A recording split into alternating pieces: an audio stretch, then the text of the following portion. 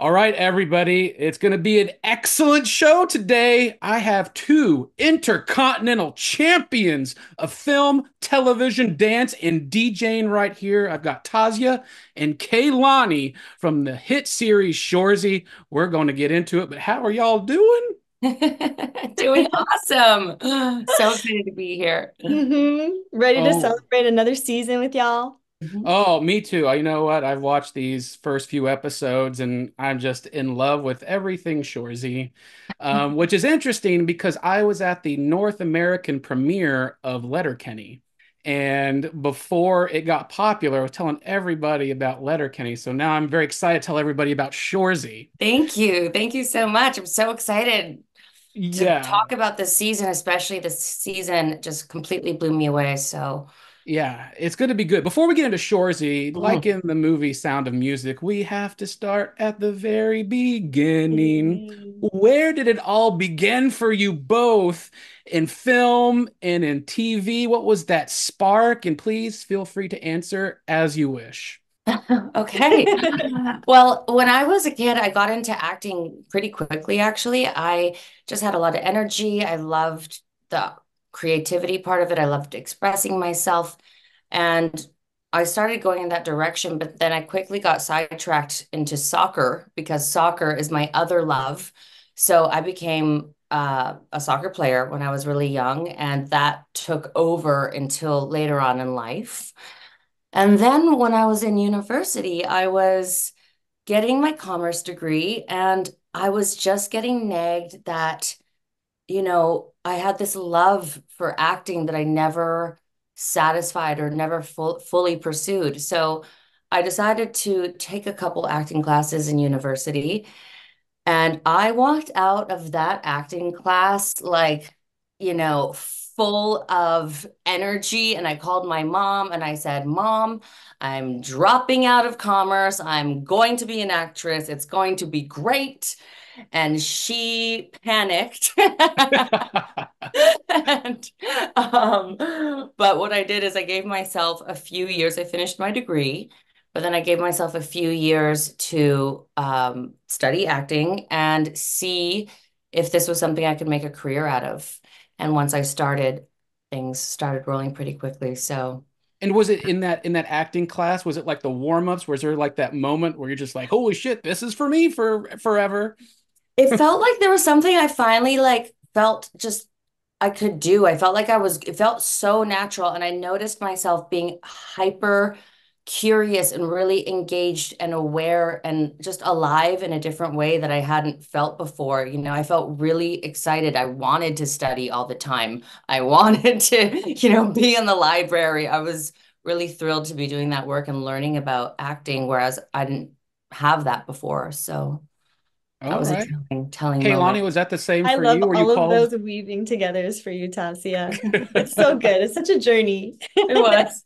Was that the same for you, Keilani, where you called your mom was like, I'm an actress my now? I, I would I would say that my beginnings started with um, storytelling through the form of dance. My mom taught us, me and my siblings, traditional hula, um, which is Hawaiian dancing, and we grew up with that in the home, and that was definitely my foundation for just like that that oral tradition, that movement, that that embodiment of story. And I think that that just followed me through life. It's something that is part of me, and then it just keeps evolving into these new forms of what what can that be? And it's taken me into music and storytelling through through music and DJ sets, and then it's taken me into this acting world where I'm really finding my voice, and that's been so healing. And um, and now it's kind of transforming into writing. So I'm really excited about exploring down that pathway and, and directing some more as well. So I think it's just um, yeah, constant metamorphosis and learning about myself. Right. No, I think that's super cool because I like that you said you like to tell story through dance, through your music, through your DJ sets, through directing and writing, the both of you. What element or one of the your most precious elements you bring from that gift of telling a story you bring to Shoresy in your characters? Because there is a story there. Like you're telling a story through these amazing characters, whether it be like a choreographed dance of violence on the ice or getting the team to go? Where, where is that for you both? For me, with storytelling in terms of acting, is it's, you know, there's so much to acting, and that's why I find it just endlessly exciting to be an actress. But physical behavior really tells a good story. So finding how that character moves and like what are the little gestures that she does and especially like working with Jared because his physical comedy and his physical behavior is so strong. So it's really nice sometimes choreographing what the physical life is of a character and also finding the rhythm and the music in in the words and in the scene. You know, there's a cadence and a flow to especially his writing. So catching that surf or riding that wave with your colleagues together is super exciting. Mm-hmm. Awesome. Definitely. And I feel like to add to that would just be a parallel for me, I find in in the artistry that I love and and also in the show, there's that really big theme of like for the community by the community and it brings me back to my why and why i'm creating and why i'm an artist and um, i feel like in a sense we have we have a word in hawaiian called kuleana and it means responsibility and it's just a beautiful way that we can give our gifts back to our communities I love it. I love it. And I love that you brought up the dialogue because as anybody who's watched Letterkenny and watched Shoresy, there's a cadence, there is a almost hip hop or rock and roll beat to the language. And how much fun do you have getting into that with everybody else? Like, do you just riff off each other? Do you play off each other so well when you finally find that beat? Do you just have an outer body experience like, holy shit, this is what it's all about? Yeah, I think you can definitely feel when you catch it, you know, and it does take a lot of rehearsal and it takes a lot of play, and we get together quite a bit to go over it together, but it has this rhythm like a hockey puck being passed around, you know, the ice almost, where it's like this person's talking, then this person's talking, then this person's talking. But um, it, it that rhythm lives in the text, and that's what makes the his writing style so unique and so special. And Jared is a drummer, so you know, I sometimes feel like that has helped inform his or develop or create the way that he writes because you know that special rhythm is definitely there but um you know you know when you kind of like when when you get to a place where you've you've eased into it and everybody is just passing the puck and it's just completely seamless you know? Yeah. When you're in the pocket. Yeah. i mean he even sets us up for it. Like we rehearsed by throwing a ball back and forth yeah. and just like then you can really feel it. Mm-hmm. That's super cool. And with your characters in the third season right now, I'm curious as an actor, do you go back and watch previous seasons and then follow your character arc and bring something new to these characters? And like, oh, because I mean, you both are leading the leaders of a team of like some crazy yet sweet team of guys on the ice, and you're in charge of these. So, how do you bring that? you know transformation of uh being badasses uh to the third season it is pretty cool. It is a, it's like such a beautiful ride to be part of. I feel like i feel like the more time we spend together in real life the more we kind of like dig into our characters. And especially with our trio we've really like had a couple irl moments where we're like oh my god that was so nat that was so Zieg and that was so meeg and then it kind of just informs us as we head down our own our paths with these characters.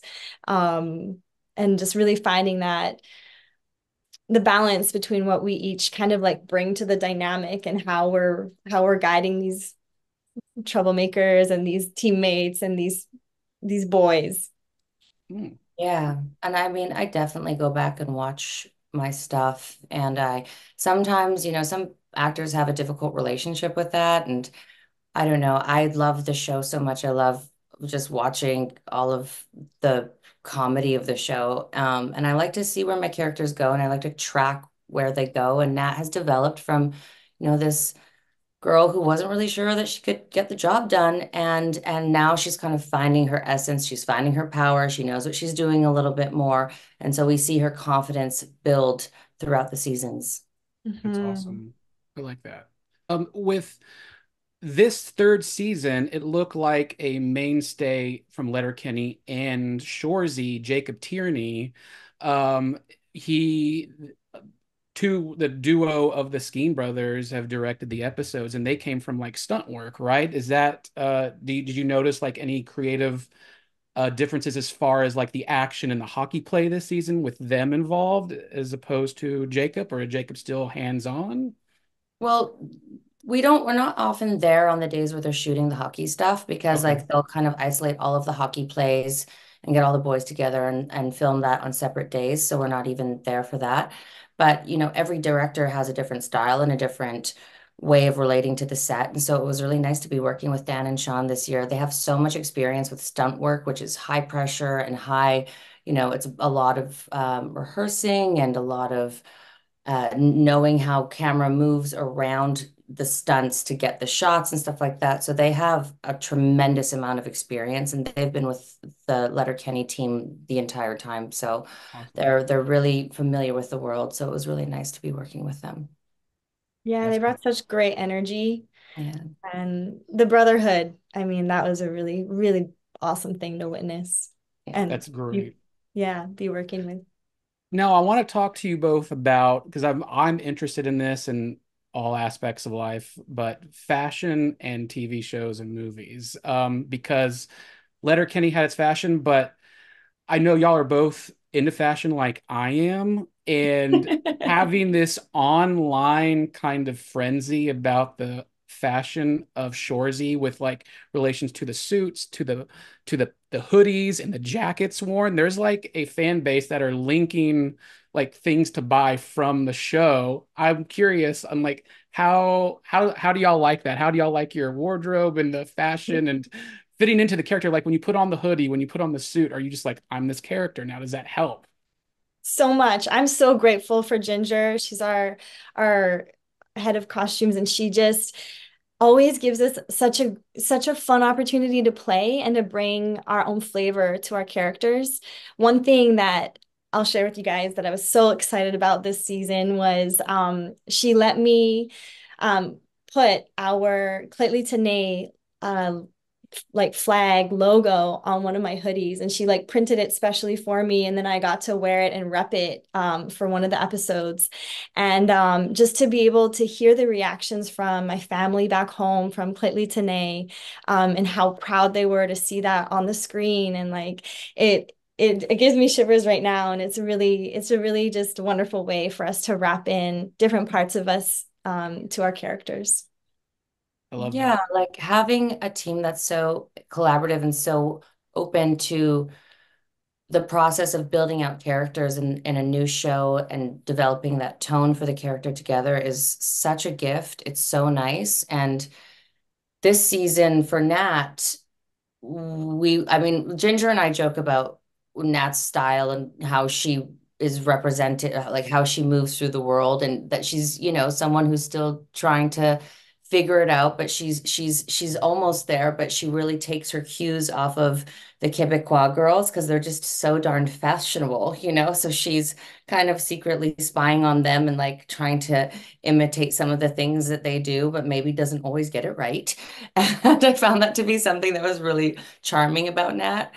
And another thing that we got to do this season was because Nat's hero is her mom, she is really trying to do good by her mom to get this hockey team and community alive and healthy again. Um, I was able to actually weave in some pieces from my mom's wardrobe. So I got to pepper in some little items this season, um, which is so wonderful. Like those little touches really connect you to the character and connect you to the story. And to your own self, like having those little insider moments that you're like, look, that's for you. That's that's, that's super cool that you get to do that. And do you get to keep any of these pieces? Or is that straight to the studio? or something might There be might be one or two pieces that have gone you know like a end of season gift sometimes pops up by surprise I like that. I like that. And you know, the show is so funny and you know, the bits of comedy and the bits of drama are so well done. Um, how do you bridge that gap of drama and comedy in the show? sometimes it really feels like you get lost in them together mm-hmm. they they they turn into each other and it just becomes this like continuous um, circle that's like feeding feeding around itself and feeding us and i mean i don't know what would you say tass i mean i think like staying connected to you know who you're playing opposite of is a big part of it and play making sure that you're living in the moment of the stakes.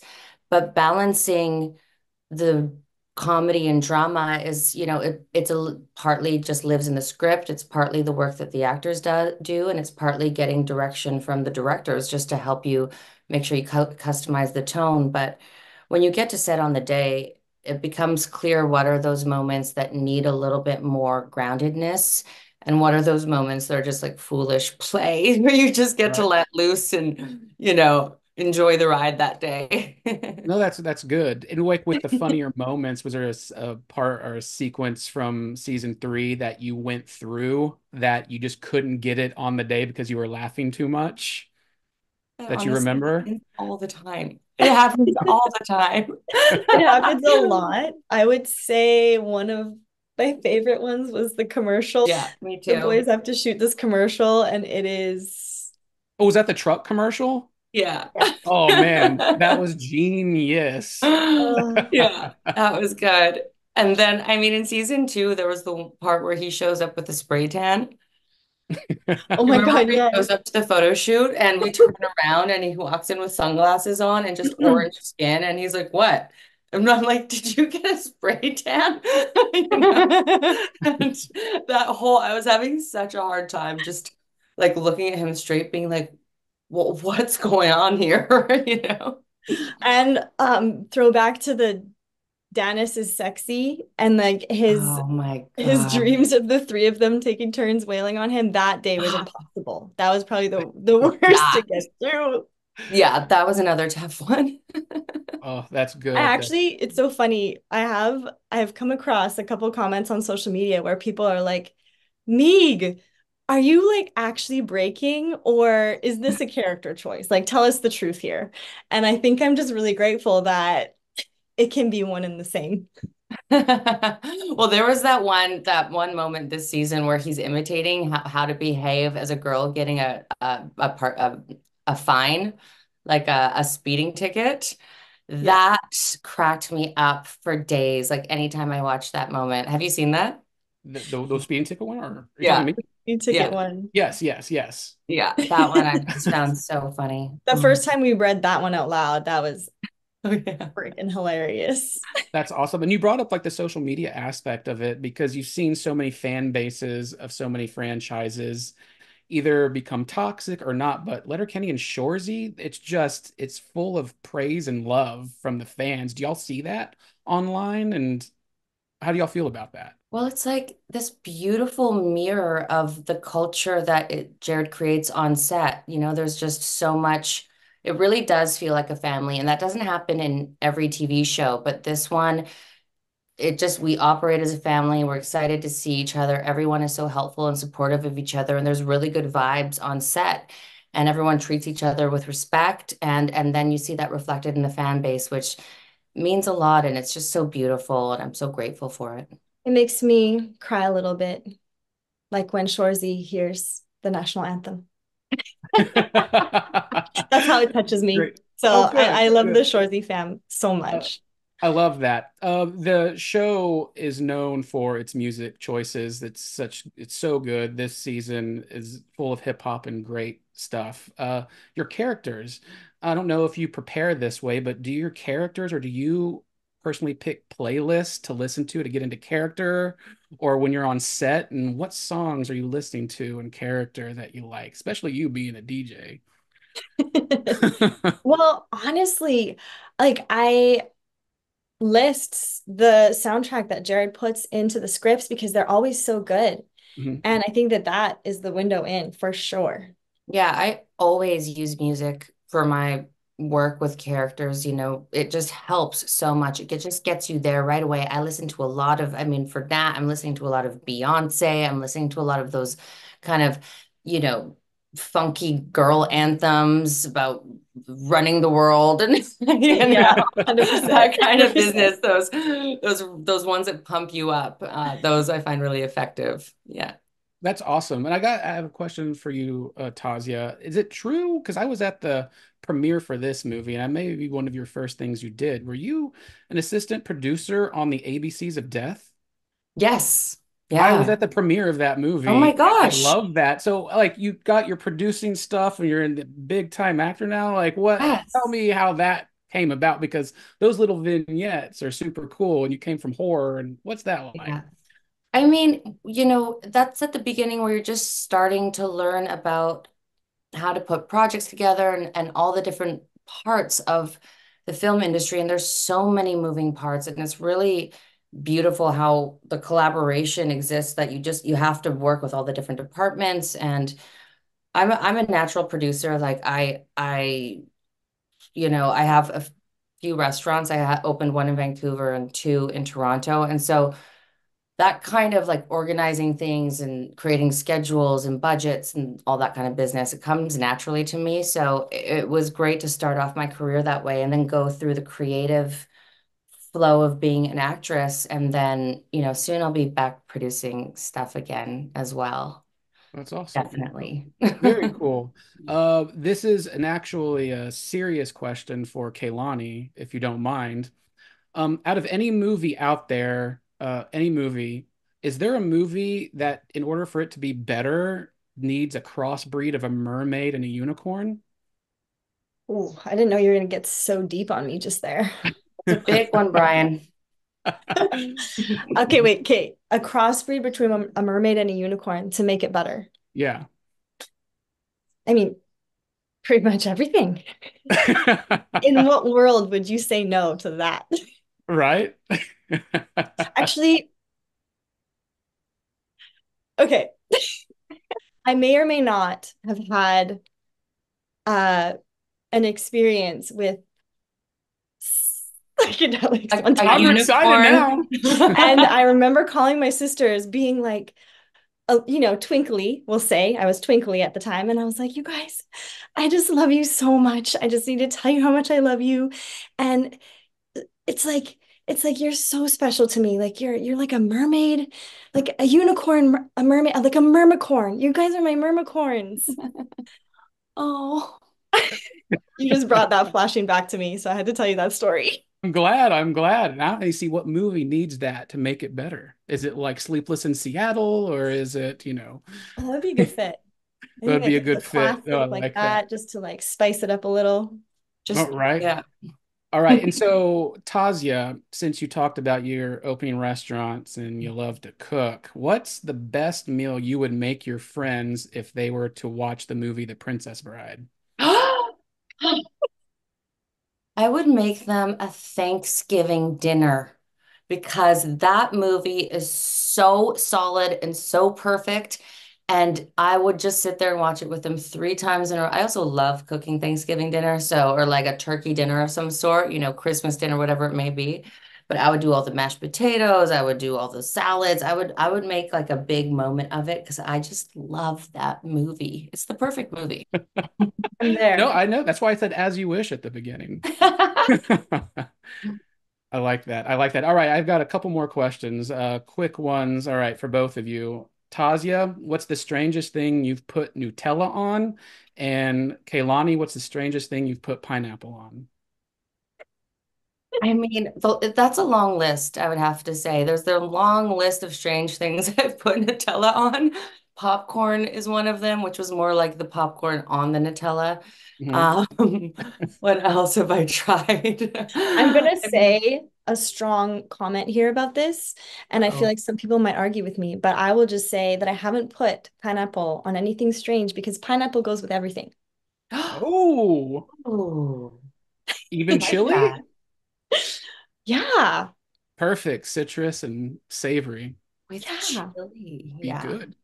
With chili? Like But I put pineapple on a lot of things. I do love pineapple. That's new.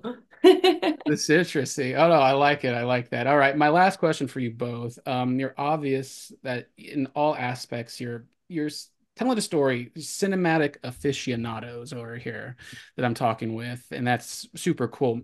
Are there any particular scenes in movies that have always stuck with you that help shape your creative life? That you wake up and you think of this scene and you're just like, I'm ready to go to work, I'm ready to do the day. Hmm. This is a good one. I'm excited I to hear from Taz about this one. I think for me, it tracks it tracks to a recent influence that I really, really admire and dream of working with, um, Ava DuVernay. Anything that Mm. she's done, um, I just watched Origin, and there are so many just incredible moments in that film that I just I I feel yeah so deeply impacted by and so inspired by. So I I would say her as like a whole, and then this most recent um, inspiration would be Origin. Nice. Okay. Mhm. Cool. I mean, a long time ago, I really fell in love with Love Actually. And yeah. there was um, this one scene where Emma Thompson is, she just finds out um, some bad news about her husband, and she has to go out to, with her children to this play at the end of the movie. And she went through this whole emotional roller coaster of the like the discovery of the bad news and then trying to like calm down. And you can really see her heart breaking and the fluctuations of all of these moments. Like it was so alive and it was so captivating to watch. And then she takes a breath and she she, she calms herself down and she brushes it off and she walks out the door. And in that moment, I just felt like I really understood, you know, what it's like to be a parent and what it's like to be a mother and what it means to put on a brave face no matter what, you know, you're going through at that time. And I was just taken by that moment that she did so much. I, I really loved that. I love mm-hmm. that. Oh, that's I, I didn't expect that answer, and that's such a great realistic scene in that movie, and it's Yeah. just it's perfect. All right, one one more from you. What's the best scene in Princess Bride? Oh man, you're gonna make me pick? oh. I mean, what are you gonna, what, do you have a favorite scene? Oh, it's anything with Billy Crystal. I know those, that's actually a fantastic response. Um, I love the Billy Crystal scenes. I love, I love so many moments. It's really hard to pick one. That's an impossible question to answer. Well, thank you. As you wish. Thank you so much. Shoresy season three is awesome. Thank you for taking the time to chat and answer all the fun questions. Thank you, Bryan, Bryan. thanks so much for having fun. us. That was so Thank you great. so. Thank you. Thank you very much.